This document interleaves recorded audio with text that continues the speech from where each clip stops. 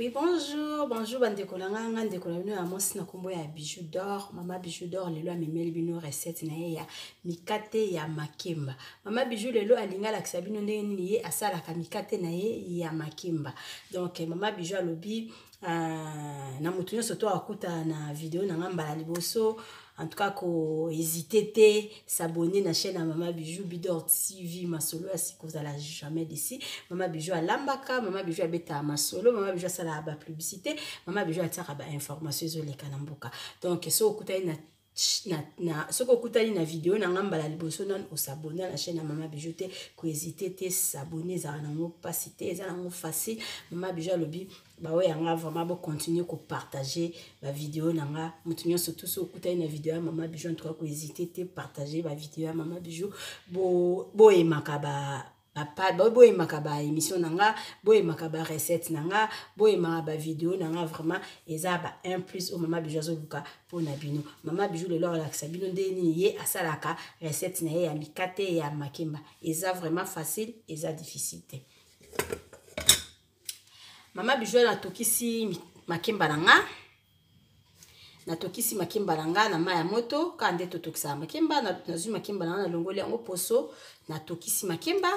na mai ya moto makemba etela makasi mama biju nazwi makimba na ngai nakotisa makimba na ngai na nzungu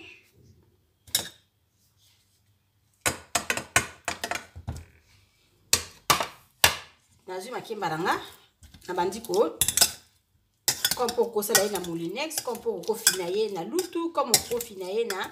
eloko nyonso oyo olingi fo kaka kofina makemba ekoma potopoto donc makemba ifo elemba makasi makemba mpe ifo ezala ya kolemba donc ya kotela kwa nazonika makemba na ngai na eloko oyo nde naza kobina makemba na ngai ekoma potopoto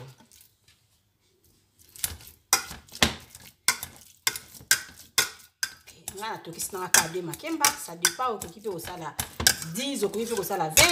ça dépend donc nga moko kaka moto nayoki mposa olia mikata makemba nga alobi te pourquoi pas nalakisa mpe bandeko na nga ndenge nini basala mikate ya makemba parce que naza nauti kobenga santola nga moko nayebisi na bino azolia mikate ya makemba ayebisi nga alobi o oh, bijou sala video donc c'est ça yango wana nazosala video mpo na motu nyonso amona ndenge nini mama bijou asalaka mikate ya makemba parce que eza na bamakemba mosusu tosomba osombi makemba ebele ozoyeba ndenge nini ya kosala nango te olia ya kokalinga olia ya kotokisa ozoyeba ndenge nini ya kosala te okoki mpe kosala yango mikate mikate makemba na ngai yeyo nafini mpenza makemba na ngai kitoko akomi potopoto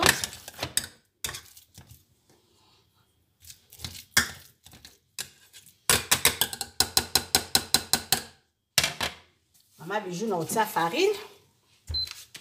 na makemba na ngai motu nyonso toyebi farine oyo na nkombo ya miel bokoki ko neti de makemba boye moto akokozwa kata mosusu de farine oyo ezalaka uh, ezali 1000 gramme si je me trompe pas moto akokozwa ka mwa 500 gramme moke eh, otie ezali 1000 eh, gramme okokozwa ka ata mwa 250 gramme moke otie donc farine mpenza ekoti mingi te parce que eza nango kaka de makemba bandi kobalusa makemba na nga mélange na makemba na nga eza déjà sucré na bato oyo balingaka sucre mingi okoki kozwa mpe ndambo ya sucre otie tellement nga nalingi na nga ezala bongo na kotiaka mwa ndambu ya mungwa eloo nakoki kotia awa ekoki kozala sucre vanille na sucre vanille yango awa Euh, suka avandi leki natie mungwa na nga mungwa na nga ndambu nazwi mpe sucre vanille na nga chasse kaka moko natie na kati ya mikate na nga okoki mpe kosala ye na nzungu nga nasi nafungoli fritese na nga parce que nakosala ye na fritese nazwi mwa sucre vanille na nga chasse moko natie donc mama bijou natie de makemba nazwi ndambo ya farine natie natie chasse moko ya sucre vanille nazwi mwa mungu ya moke natie telema nazolia ye na na mwa steak na kalingi nalobi te semi natia yango mungu ake natia yango sucre comme mpe okoki kotia sucre comme tu veux vraiment bon. ngai oyo na mélange farine na ngai esika moko na na makemba na nga makemba ya kotela c'est ça mama bijou nake nasukola maboko na nga bien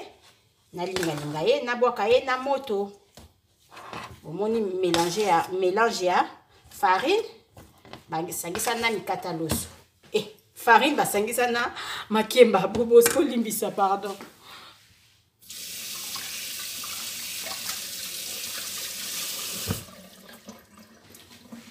mama bijou na kolingalinga mikate na ngai oyo nazosala mikate makemba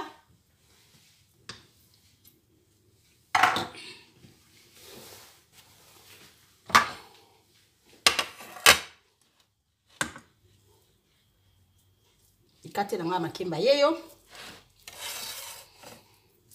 nazolingalinga mikate na ngai makemba moto kutu esi ezwi yango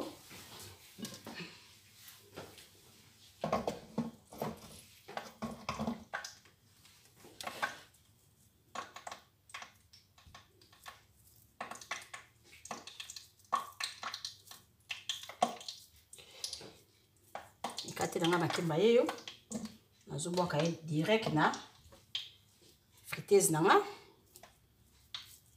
bosabone na chaîne ya mama bijou masuivema mama bijou alobi vraiment ti tokóma na décembre tokokisa banombre moo boye mpo esala mama bijou babien moto nyonso tolingaka nga donc eh, na oyo olingaka nga te nga nalingaka na ngai yo mama bijou alobi bosabone na chaîne na ye masuvema ma, chaîne, na, chaîne na mama bijou eza kaka mpo na information te mama bijou azosala barecette oyo eza koyede bamama ebele donc eh, bosabone na chaîne ya mama bijou bidor tv masolo ya sika bozala jamais desi mpe mama bijou alobi boyemaka bavideo ba, ba, ba, na nga botyaka bacommentaire donc eh, e yango nde vraiment mama bijou azoluka moto nyonso tozala na besoin mama bijou asolola na yo ntango mosusu bosala émission pourquoi pas benganga tosala na biso émission so oza na idée eloko nini tokoki kosala comme eh, lisolo oyebengi mama bijou boprésente émission ensemble donc eh, balisolo na bino mama bijou azozela na na balisolo ebele fo nabeta mikolo oyo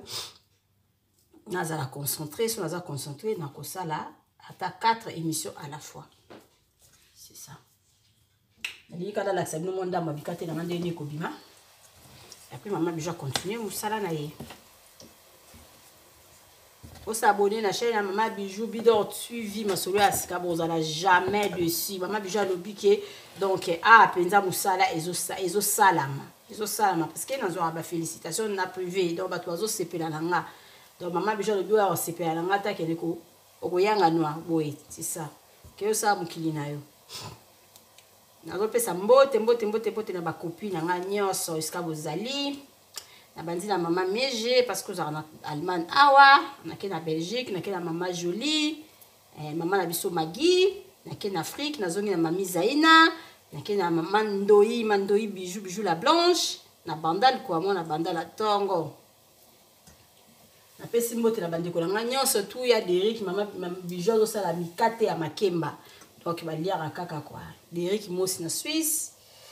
napesi mama rita mwasi ya desire bambote famille na ngai mobimba famille mosi babizu ebele kua bandeko na ngai nyonso bisika bozali nalingaka bino mingi biju mosi alingaka bino mingi mama biju azosala mikate na ye makemba nalakisa bino mikate na ngai makemba ndenge ekobima après nalakisa bino nde nini otia yango na sani c'est fini donc mikate ya makemba mama biju nazwi ka de makemba na nga parce que eza recette nga moko nalingi nalia bana baza te nayoki mposa olia mikata mikata makemba nalobi no tika nasala mikate na ngai makemba nazwi de mikate na ngai makemba ya kotela natokisi ye nazwi mikate na ngai na na makemba na ngai nabimisi ye nazeli ekomi pio nabimisi ye na fini fini ye natie farine natie eh, sucre vanille natie mwa ndambo ya mungwa c'est ça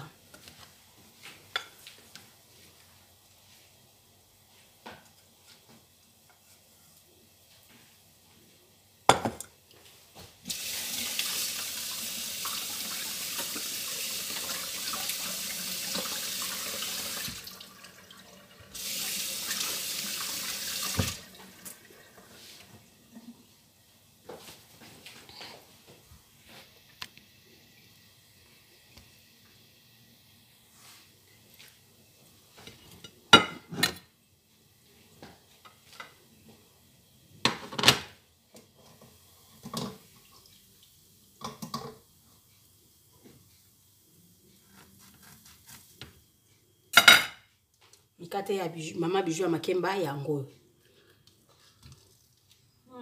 Yoka.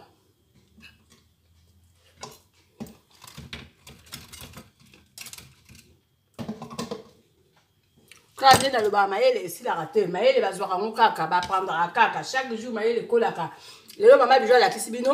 recette na ye ya mikate ya makemba donc mikata makemba deux fois te